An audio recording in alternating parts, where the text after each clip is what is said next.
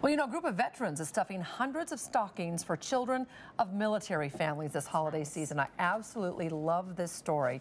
And uh, KXLY4's Grace Ditzler, she was with the group as they were stuffing those stockings with hundreds of toys. And Grace, boy, this sounds like such a special group. It is. Nadine, Chris, Combat Vet Riders is a veteran motorcycle group and they're collecting and donating toys to give to local military families. Their goal is to make sure military children have the best season of this holiday season that they could possibly have this year.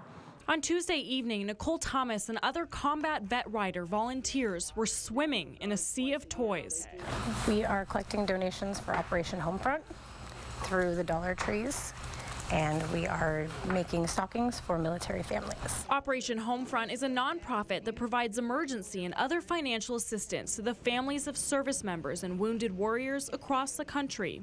The toys come from donations from shoppers at local Dollar Tree stores, and the combat vet riders volunteered to put them all together. Then the toys will be sent all over our area.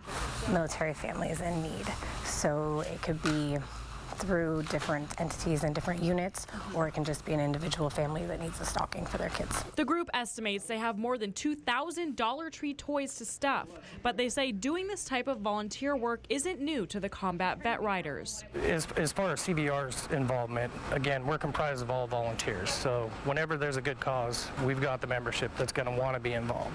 And combat vet riders say it's all in an effort to make sure every military child, no matter what their family's financial situation, is. We'll have a magical Christmas this year. Everyone needs to have a Christmas, and all kids need to be able to have stockings.